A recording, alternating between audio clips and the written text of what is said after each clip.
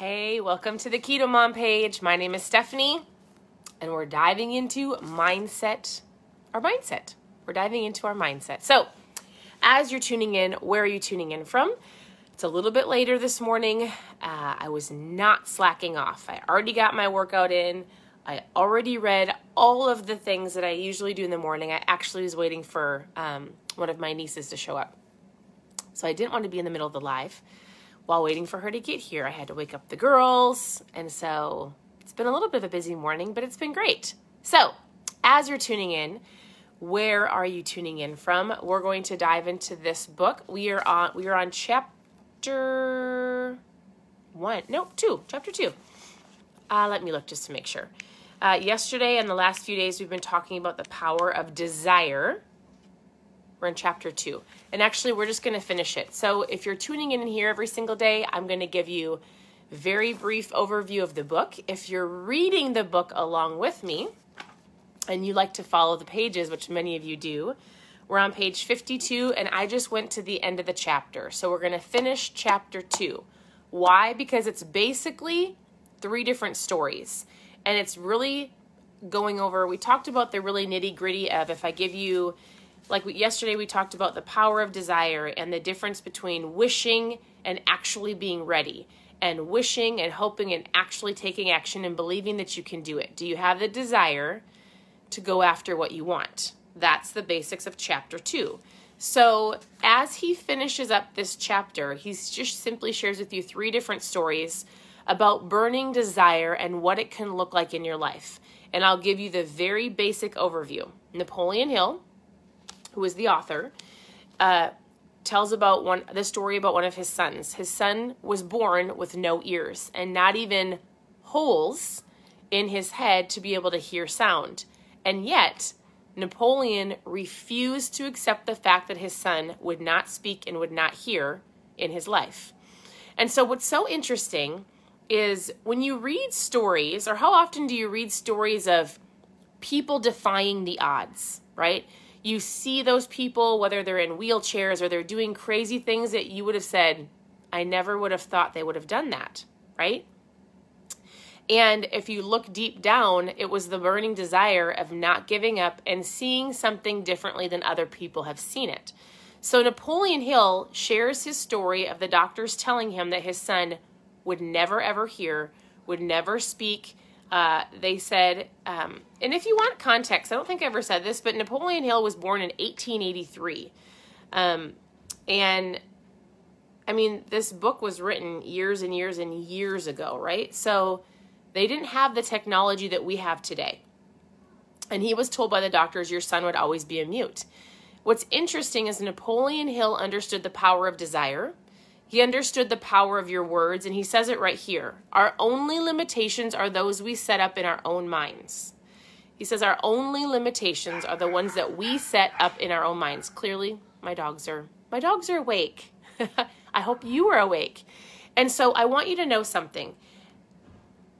If you would have been his friend back in the early 1900s, and you would have said, and you would have known his son who was born with no ears, physically couldn't see them and there was no holes to hear, it would have been easy to, to assume with your eyes that he would have never been able to hear.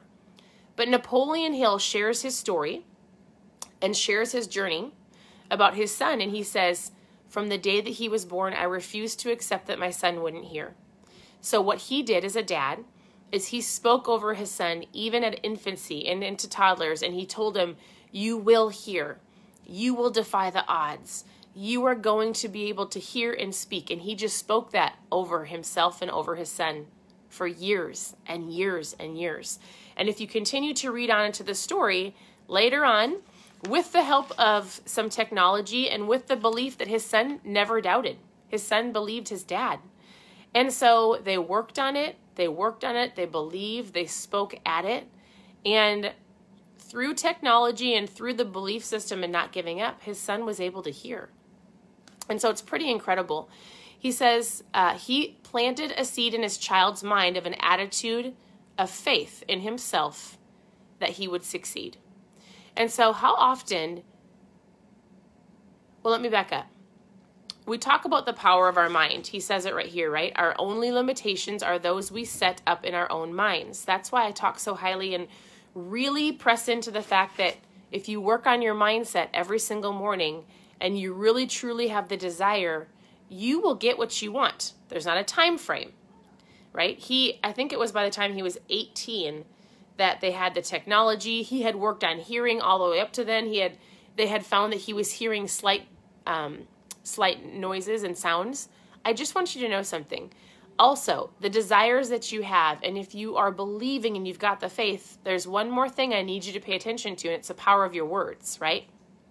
If you're constantly saying, I will never, and I have to, and that won't be me, uh, or uh, I'm always going to be fat. Oh, it's des- it was in my family, it's genetics, it's always going to be this way.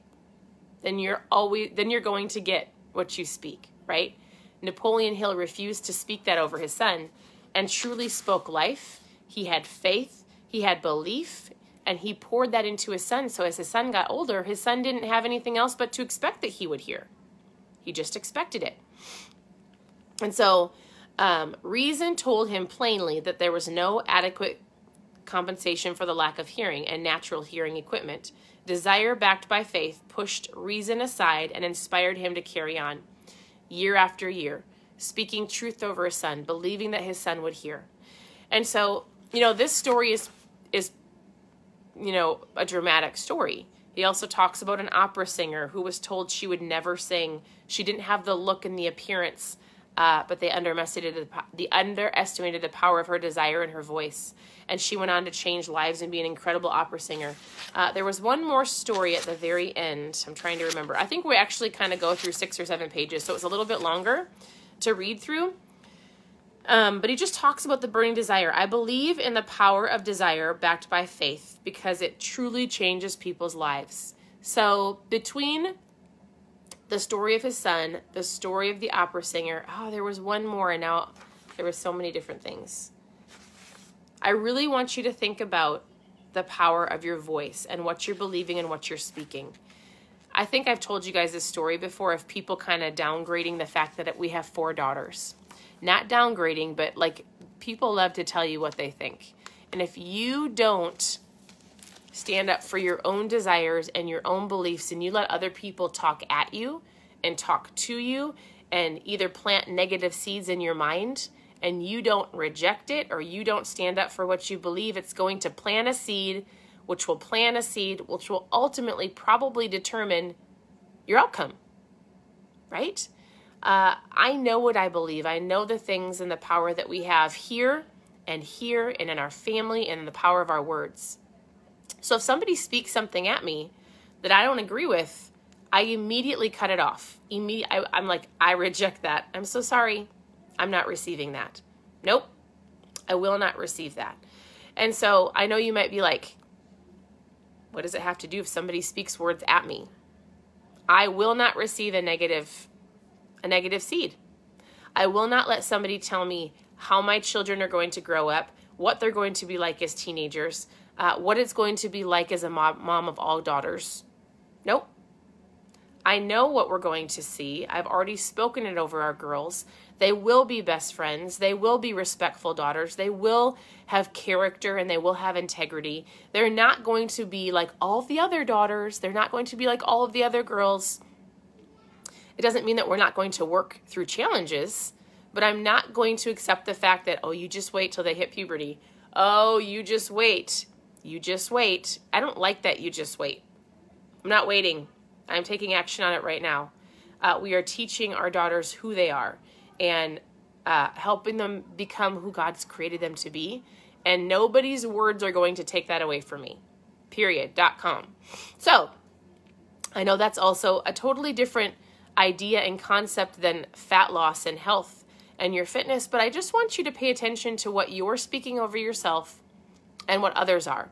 And don't accept other people's negative seeds. You don't have to. Other people's negative words. You don't have to. Uh, what do you think people told Napoleon Hill for years when they saw his son didn't have any ears, but yet he was saying, My son will hear? He had burning desire and faith that his son would hear, and he did. And if he would have just went, if he would have enrolled his son into um, a sign language, a deaf school, if he would have enrolled his son and just accepted the fact that he was deaf and mute, then his son would have been that way. Uh, he didn't. He defied the odds. He fought and he had faith and he did something that most people said you're crazy. And he got a lot of scrutiny for it. And so if we just back up and take this very lighthearted and we go, how is your health and fitness today? My hope is is that you believe in yourself. And if you don't, that's why we read and that's why we learn and that's why we plug into people that you look up to and we listen to podcasts to get your mindset right to believe that you can achieve your goals and your visions and the things that you want for your life, but you're going to have to take action, have the desire, have the belief, and not, not other people come in and squish it. Don't let them squish it, right? So we're finishing chapter two, some great stories, and we'll dive into chapter three. And here, and remember, you don't have to keep up with me. This is a your, this is your journey, but you can tune in just to get some nuggets. And if the only thing that you heard me say was our only limitations are those that we set up in our own minds. And if that's all you think about today, think about the limitations that you set up for yourself. And today's the day where you draw a line in the sand and go, I'm not going to believe that anymore. I will change. I have the power to change. I have the power of choice. I'm going to watch my words. I'm going to shift things to believe that I will achieve the goals I'm setting out to go after in time with consistency. As I'm working on my mindset, I'm going to see other things change in my life. So, this is the book we're going over. We're starting chapter three tomorrow. Uh, I hope you took one little nugget away and that you can ponder on that and think about that all day today. So, again, reach out with any questions that you have, whether it's keto or low carb or homeschooling or parenting or or anything, send me a message and I will send you a message back. I hope you have an incredible morning and we'll talk to you later.